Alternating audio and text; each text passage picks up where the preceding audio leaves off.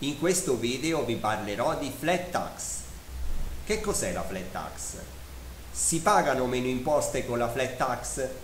C'è un risparmio di tasse?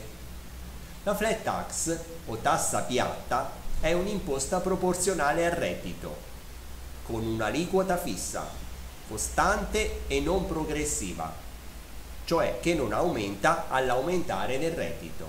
Per intenderci, con la flat tax abbiamo una sola aliquota al 15%. La tassa piatta si contrappone all'IRPEF, imposta sul reddito delle persone fisiche, che invece è progressiva e per scaglioni, cioè con aliquote che aumentano all'aumentare del reddito. Infatti le aliquote IRPEF vanno dal 23% al 43%. E allora, con la flat tax si pagano meno tasse? Dipende. Dipende da cosa? Dipende dalla base imponibile utilizzata per calcolare l'imposta. E che cos'è la base imponibile? La base imponibile è l'importo su cui viene calcolata l'imposta. Il 15% di quale reddito? Il 15% su quale base imponibile viene calcolato? Normalmente, al fine di quantificare il reddito imponibile di un'impresa, si sottraggono tutti i costi derivanti dallo svolgimento dell'attività al fatturato complessivo. Poi si sottraggono gli oneri deducibili, la no tax area, nonché le deduzioni per oneri.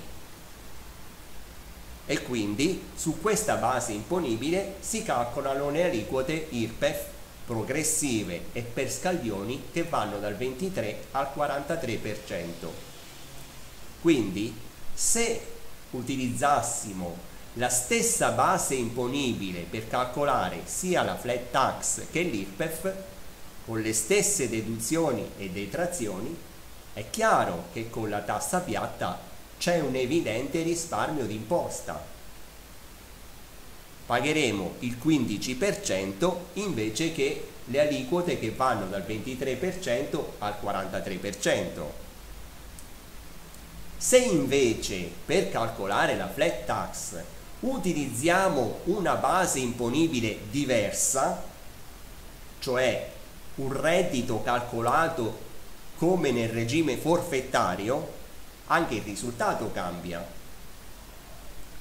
Effettivamente uno degli aspetti principali che caratterizza il regime forfettario è il calcolo del reddito imponibile.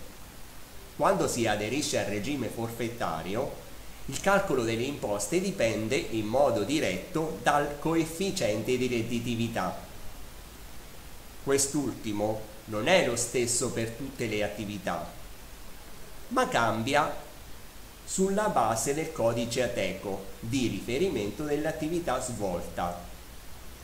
I, co I, coefficienti di redditività variano dal 40 all'86%.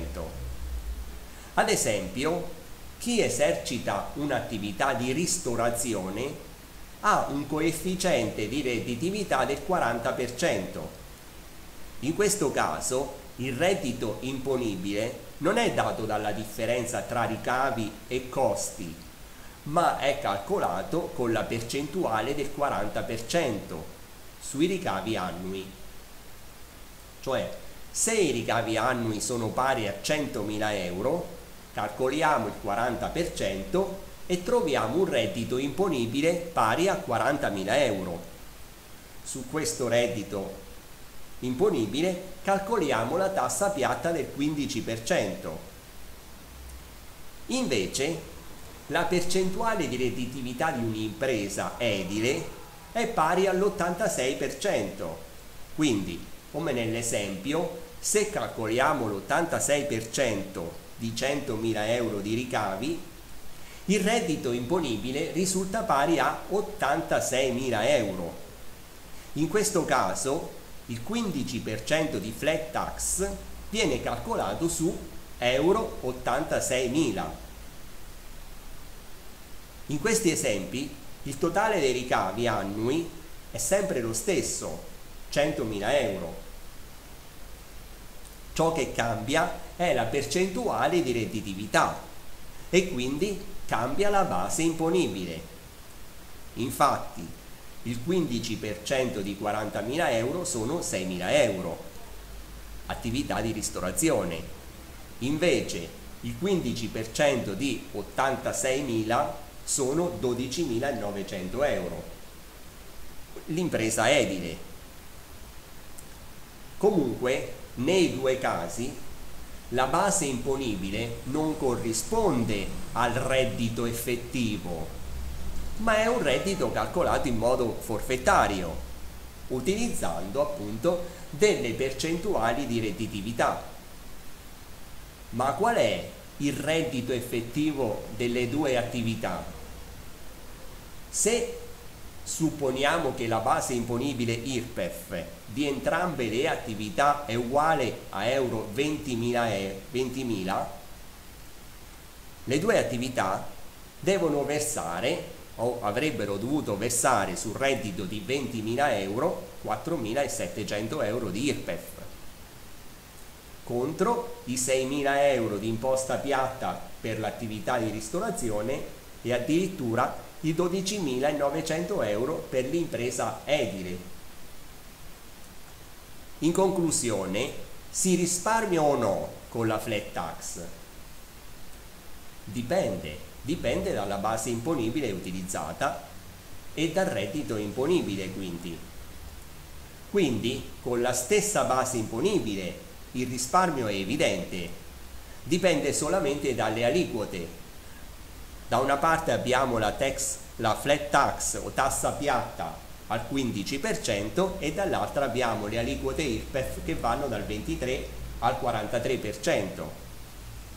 Invece, utilizzando diverse basi imponibili, il risparmio dipende invece dalla percentuale di redditività per calcolare il reddito imponibile, ovvero più il coefficiente di redditività è alto e si avvicina al fatturato annuo e quindi si distanzia dal reddito effettivo e meno è conveniente la flat tax rispetto all'IRPEF.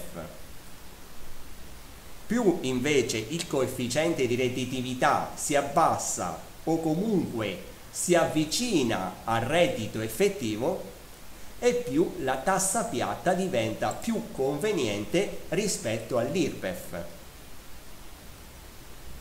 E con questo vi ringrazio per l'attenzione e vi saluto a tutti.